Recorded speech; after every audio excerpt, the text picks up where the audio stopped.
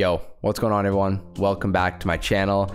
Now in this video, I wanted to go over the new release from Anthropic, that being Claude 3.5 Sonnet.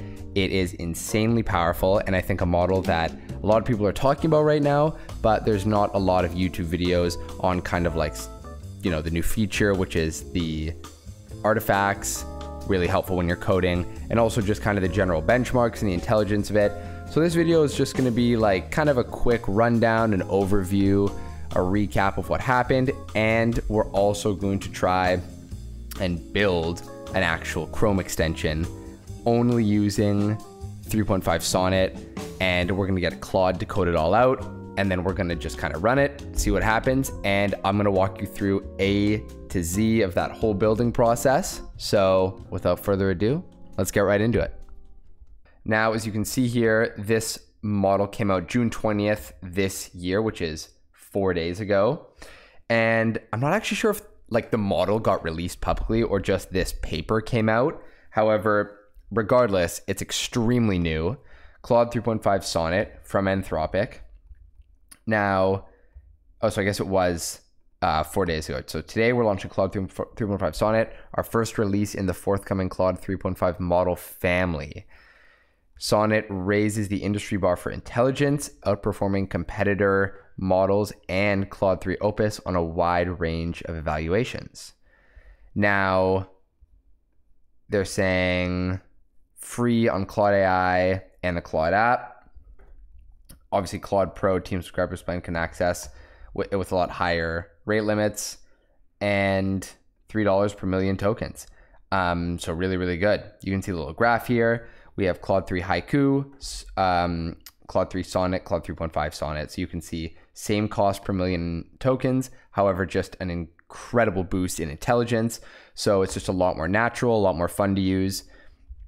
And I can definitely see a lot of kind of beginners who are getting into interacting with these language models and actually starting to learn about AI get less frustrated when using Sonnet because just from my like brief testing that I've done so far, it really does just feel natural and it's easy to talk to and it's just a pleasant experience, which at times I was getting annoyed with Claude 3 Sonnet because it just it would have these little like blips where it almost wasn't making sense and it was rambling a little bit. I mean, as GPT does, of course, if you've kind of, you know, used it for any length of time, you'll know what I mean. But I'm finding with 3.5 Sonnet, at least so far, there's a lot less of those, which is really nice. Now, this is kind of like the main graph that has all the data in it that's super interesting.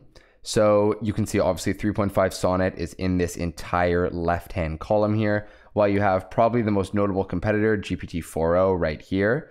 So the only two places, according to Anthropic's, you know, data collection at least, they're measuring.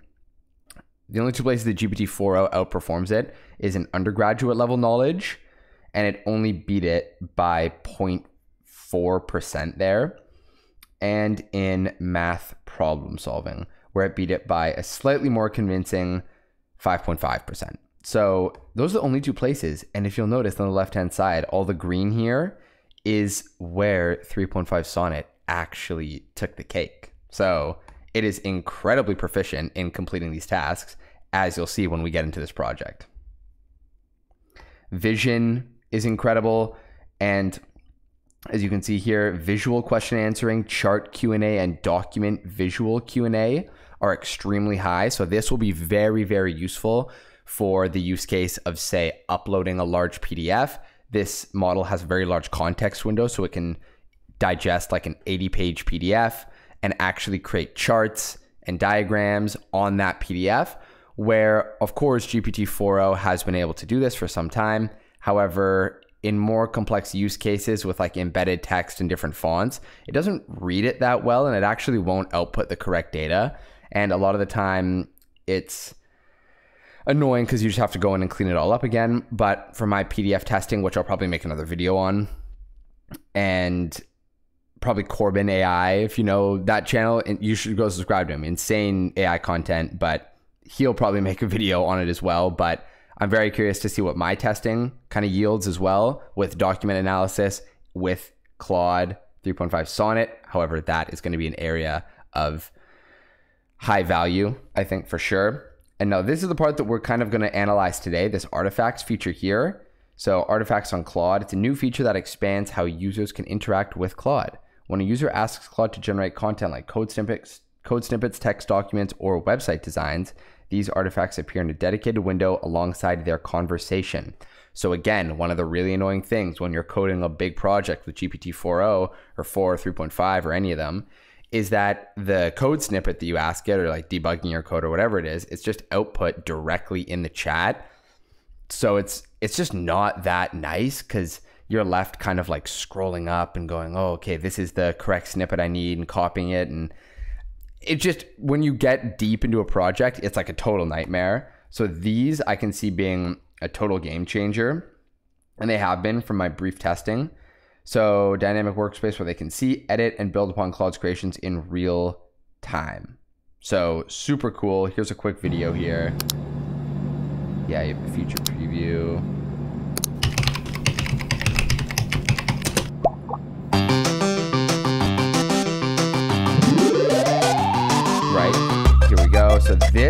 Is the artifact on the right hand side here, this pop-up window.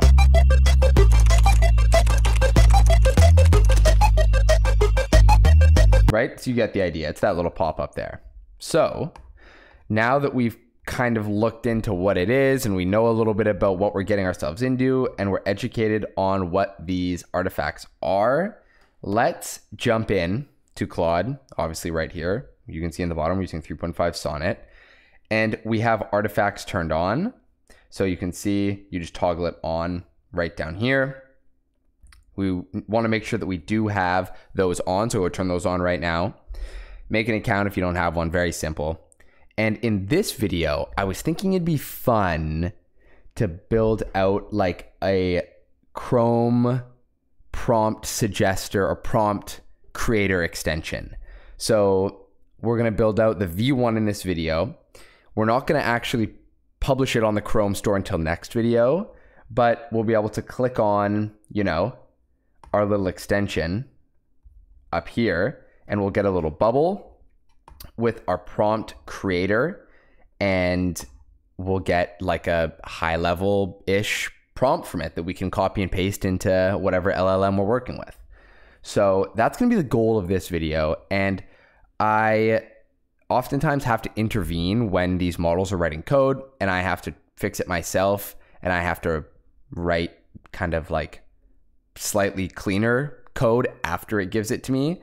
However, for the purpose of this video, I don't want to do that. I literally just want to copy and paste what it gives to me. And if something's wrong or incorrect, I want it to have to fix it itself. So we're just going to be coding in English. And I mean, as Andrej you know, Karpathy said, who was like the lead. I he, I believe he's left now, but he was the lead, like you know, engineer, founding engineer at OpenAI. He tweeted that English is the new hottest programming language, and it really is. And anyway, I'm going to illustrate that in this video. So for our first prompt, again, we want to create a Chrome extension for prompt engineering, prompt creation. So maybe we'll go, I want you to act as a, okay, so this is gonna be my first prompt. I wanna give it as much detail as possible and not work kind of like step by step just to see what it'll give me. So I said, I want you to act as a professional software engineer specializing in Chrome extensions. My goal is to create a Chrome extension that asks the user what their goal is, and then based on the goal, writes a professional prompt engineering level prompt that will tell any LM exactly how to act and yield the best possible output. Use the role task examples notes framework to yield the prompt and make sure that it is as detailed as possible. I want a modern UI that has a copy prompt button and a generate prompt button. So let's enter. Let's see what it gives us. So you can see here, here we're actually getting our first examples of artifacts on the right hand side here. Now we have a download to file and a copy contents button, which is really nice. I was hoping they'd have those. Okay, so that's cool. We actually get a file structure. That's actually quite nice just to kind of visually see what we're working with. Now we have our manifest, pop up HTML right here. Okay, cool. Styles, perfect. Pop up.js, then our prompt generator JS. This seems like a great start. So let's just hop into a blank window right here. Okay, fantastic. Now I have all our files in here. These are every single file that it created for us in these artifacts right here. Copy and pasted all of them. We have our styles prompt generator. So let's see what it actually gives us in the prompt generator here. So we have a function called generate prompt and we have an object called role task example notes. It says you're a professional prompt engineer with expertise in crafting prompts for large language models. Good. Generate a detailed, high quality prompt based on the following goal. Concise language. Perfect. Yeah. And then we're going to return all of the things that we actually need here. And that's looking, I mean, decent enough from just a really quick glance. Um, cool.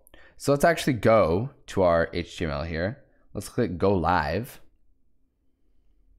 And let's see what it's doing here. Okay, so we have our LLM prompt engineer. Okay, I like it a lot already. Enter your goal here.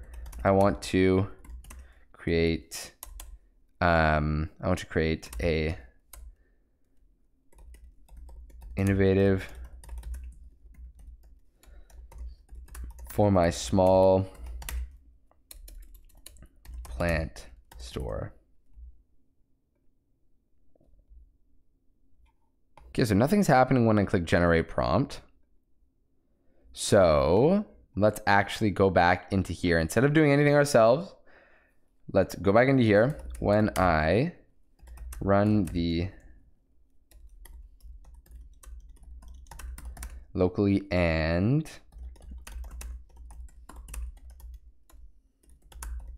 button, nothing happens. Let's just say that. Let's see what it does here. So it says in manifest, it added the type module service worker background JS. Now, did we have that before here? Let's see, manifest. No, we didn't. So it's added this type of module right here. Perfect. Let's see what we have to do here again. So maybe we actually have to say, again, we're just like going over it one by one.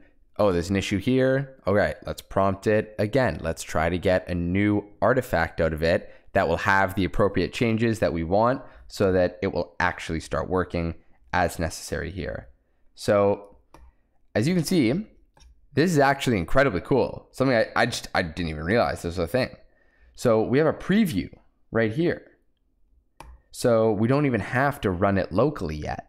So I put everything into VS Code and I'm running it on port 5501 right here, right? So I'm running this on my local host. However, this is not necessary. And I think this is something that is extremely valuable for people that are slightly less technical and people that don't want to get VS Code and maybe people that are on development teams that just want to do something quick for like the UI and send it over to the developers. So I can see there being a lot of decent use cases here. So let's see if this will actually like run live. I want to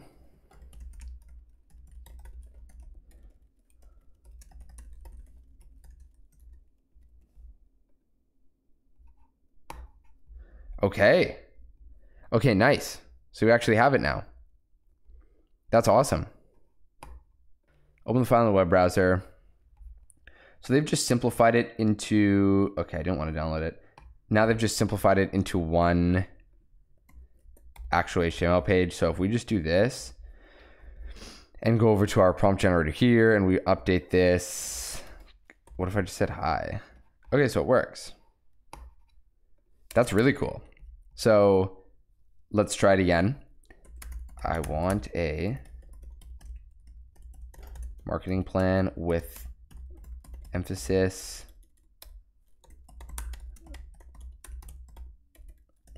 for my small boutique plant shop in Vancouver, BC.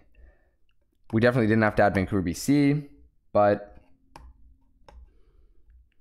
so again, we have our role here nicely outlined with a colon right there. Your professional prompt engineer. We have our task, examples. So I can see for our examples, they're very vague and they aren't specific to our actual goal here. So that could be something that we ask Claude to change as well, which I assume would be extremely easy for it as it's literally just in they're just hard coded right here, right? These examples. So, or they're actually just up here. So we could add like a hundred examples and then use like a math dot random uh, element function in here to actually pick one at random. Or we could actually use these kind of strings right here to actually dynamically input the goal and then create a new prompt around the goal dynamically, kind of a thing. So, a lot of options here, but that's one thing I'm noticing right off the bat. Let's see the notes. Use clear and concise language, include specific instructions. Um, encourage, this one's really good. I'm actually very surprised to this. Encourage the LLM to think step by step when appropriate. Um, that's awesome. Now, click copy prompt. Nice. Prompt copy to clipboard. We actually even get a little pop up there, which is very cool. Now, if we start a new chat and just copy and paste this in, let's see what we actually get from our prompt generator.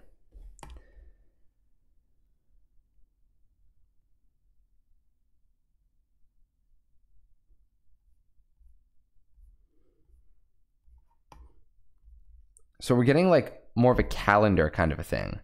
Oh, damn, three messages remaining until 7 p.m. They're already cutting us off. They don't want to see us win. So, creating a comprehensive marketing plan for a small boutique shop in Vancouver. The plan should be structured as follows define the primary and secondary target audiences, demographic. Okay. Yeah, decent enough. I mean, again, this is something that we made in like, you know, like 20 minutes or something, and not even the worst UI in the world, easily modifiable LLM prompt generator. And again, this is the kind of thing where when we actually upgrade this and I get in here and I start to work on it, because I think it'd be really fun to actually push this project a little bit and make it something really, really cool. It could even be part of my micro SaaS series. And we actually turn this into a Chrome extension I think people that just want to dip their toes in the water and actually get good outputs from these models will find a lot of use in it. And also, it's probably going to be slightly more fun.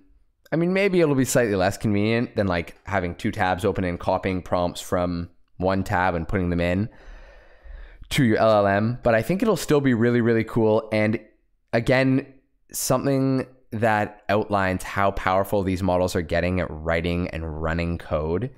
The new artifacts feature from Claude is extremely brilliant. I don't know who at Anthropic suggested that or put their hand up in the board meeting, but shout out to them because I can see myself and my kind of network using this a ton. And I can't wait to show this to more people. Now, I'll probably cut the video here. We've already gone on 25 minutes. Thanks for sticking around. If you have, I hope you've gained something at least slightly valuable from this video. Again, connect with me on LinkedIn, Instagram, shoot me a message if you have any questions. I'm so happy to talk about AI, coding, these models, anything in more detail. I could talk about it for hours. So I really hope you enjoyed the video and make sure you stick around for part two, probably coming out tomorrow or the next day, where we take this one step further and get a little crazier with it. So, again, guys, thanks for watching. Take it easy.